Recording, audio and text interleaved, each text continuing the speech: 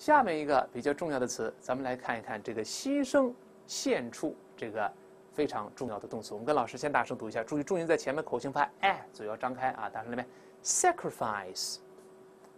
好，再来一遍，sacrifice，叫做牺牲或者是奉献。那我们首先看看这个词该怎么来使用。我们先看它的搭配。首先记住这个词啊，它后面一定跟介词 for 来搭配。sacrifice 哒哒哒 for 哒哒哒，为了某个目的而牺牲或献出了某个宝贵的东西都行。来，咱们看一些例子，比如说很多妇女为了他们的家庭牺牲了自己的事业。Many women sacrifice their careers for their families。很多妇女为了家庭牺牲了、放弃了他们自己的事业，可以用它。哎，这个搭配比较精彩，不错啊。那么我们再看。呃，本文中，在本文中，咱看这篇课文啊。本文中的第四行最后到第六行有这么一句话。第四行最后到第六行，这句话说：“Such is human nature that a great many people are often willing to sacrifice higher pay for the privilege of becoming white-collar workers。”他说什么呢？他说这呢，本是人之常情，人的天性。什么是人的天性呢？很多人。愿意牺牲更高的收入，为了什么呢？为了能够成为白领工人，这种所谓的特权，所谓的好处，依然是 sacrifice something for something，还是跟介词 for。你甭管谁写，这搭配是固定的，你变不了。咱们再在另外一课书中再找一个例子，大家请翻书，请看二百零四页，二百零四页的第十六行到第十七行，就是四十四课里边，二百零四页的十六到第十七行有这么一句话，他说。relatively few people are prepared to sacrifice holiday time for the pleasure of traveling by sea。他说，相对只有比较少的人，be prepared to do 是愿意乐意的意思那，愿意牺牲他们假日的时间，为了什么呢？为了那种在海上旅行那种所谓的乐趣，为了某个目的而牺牲某个东西，sacrifice something，一定记住 for，记住李老师的话，记单词不如记搭配，否则的话，你单词是死的。记住搭配的活了，拿过来就可以用了。这是牺牲，牺牲说白了是一种放弃，只不过是放弃宝贵的东西，为了一个崇高的事业而牺牲。但但是我们知道，生活中放弃表达很多，比较通俗的场合可以用第一个，我们读一遍就好了，give up。这个相信大家最熟悉啊。放弃还可以用动词 abandon，abandon 只不过比这个 give up 更为正式一些，也是放弃。用在比较庄重正式的场合，在第十课我们出现这个口令叫弃船 （abandon ship），abandon ship 就是用这个词，也是放弃的意思。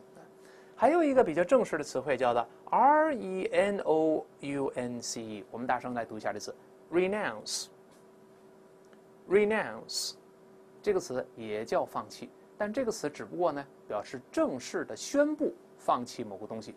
不是在心里默默的说，而是当众宣布以后我不做某个事儿了。咱们看一些简单例子，比如说 renounce smoking and drinking，叫正式宣布戒烟戒酒了，就是把全部的同事、亲戚、朋友都召集到一块儿，宣布以后啊，我李延龙我就再不抽烟、再不喝酒了，再抽烟再喝酒我是孙子。哎，这种我们就可以用这个 renounce，正式宣布放弃某个东西，可以。那但我们说话要文雅一点。那但是确实放弃可以这么说啊。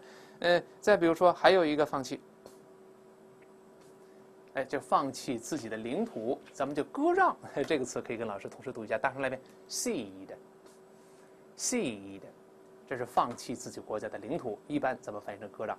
比如说，看看例子：Hong Kong was ceded to Britain after the Opium War。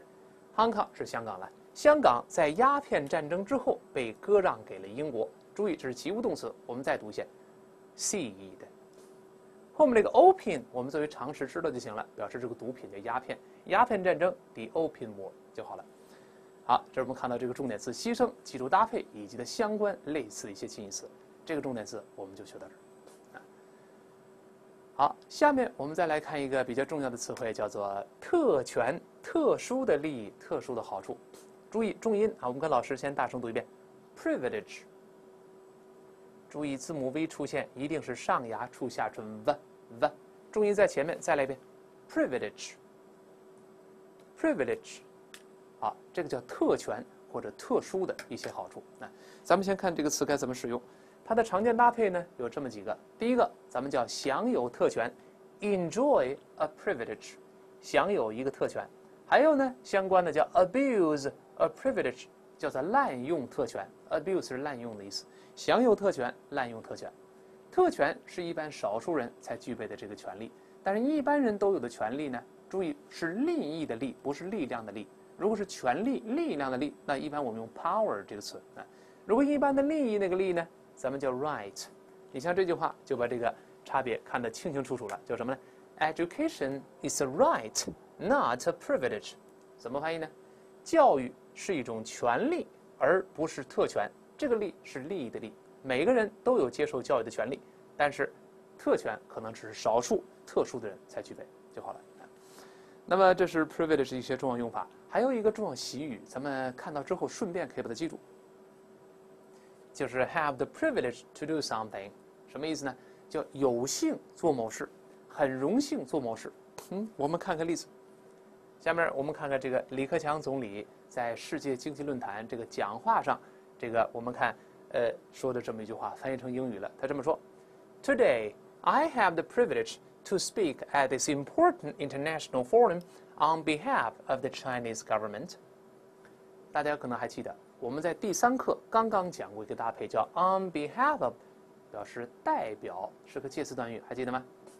那么今天我很荣幸，就有幸了，代表中国政府在这个重要的国际论坛上发表讲话。这个 forum 表示论坛就好了啊。注意，have the privilege to do something 叫。很荣幸有幸做某事，在一些正式的，尤其是发言的场合，咱们说起来显得特别有学问啊。这个当然比尿尿那个有学问，要好得多了啊。可以把这几个同时记住。哎，这是特权这个重点词汇，我们看到这儿。好，下面一个比较重要词汇就是我们看看“公司”这个词，跟老师大声再读一遍：corporation。再来一遍：corporation，叫做公司。哎，这个公司啊，一般用在公司的名称啊，或一些庄重场合。一般口语中，咱不太喜欢说这么大个的词，多音节不好说。那看一些简单例子，比如说跨国公司，这个用的多，咱们叫 multinational corporation。这个 multi，咱们以前在单词中见过，multi 是一个字头，表示很多的，在很多国家有分支机构的，叫跨国的 multinational。跨国公司叫 multinational corporation 就好了。那么相关的，我们再看看。指公司呢，还有其他的一些类似词汇，尤其是在阅读真题中常见的一些替换。比方说，我们可以用 company，这个大家最熟悉，还可以用名词 firm。注意在这儿是名词，表示公司的意思。还有像 business，可以指公司，没错。还可以用名词 concern，注意都是指公司的意思。我们跟老师一呃大声来读遍：company，firm，business，concern。都可以表示公司。注意，在阅读中看到的是做名词，都有这个意思啊。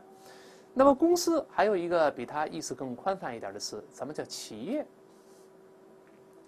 就是连公司带工厂，咱们都能叫企业。对，我们大声读一下这字：enterprise，enterprise，哎，叫做企业。我们把几个常见的呢一块儿来看一看。比如说外资企业，它叫 foreign funded enterprise，由外国人来投资的。这个 fund。做动词来用，可是投入基金的意思。我们大声读一下：foreign-funded enterprise。好，这叫外资企业，对吧？再比如说，我们说这个合资企业，那么 joint 做形容词叫联合的、共同的。venture 在这儿可以表示投资的意思，共同投资叫合资企业。我们跟老师大声来一遍：joint venture enterprise。再来一遍：joint venture enterprise。好，这叫合资企业。再比如说，下面这个我们叫这个这个呃国有企业，呃，现在我们在报纸上经常看的一个缩写叫 S O E。我们知道 S O E 代表的是国有企业，它是三个单词的缩写，放在一块儿是 State Owned Enterprise，被国家所拥有的这个企业。但注意连读之后呢，State Owned，State Owned，这个 t 跟后面要连到一块儿，我们大声读一遍，State Owned Enterprise。再来一遍，State Owned Enterprise。这叫国有企业。那我们再看看，我们新东方学校属于私营企业、私人企业，只是用这个词“私人的”。咱们在前面见过，我们大声读一下：private enterprise。private enterprise，这叫私人企业。我们看在第一课是不是见过 private collector，叫私人收藏家，有吧？还有我们看乡镇企业，乡镇规模的叫 township。我们大声来读一下：township enterprise。township enterprise，这叫私人企业。好，这是我们把这个呃公司企业相关词汇，我们把它做一个复习。看完之后，我们希望大家大声读五遍，直接就背下来。好，第四课我们把生词和短语跟老师就学习到这儿。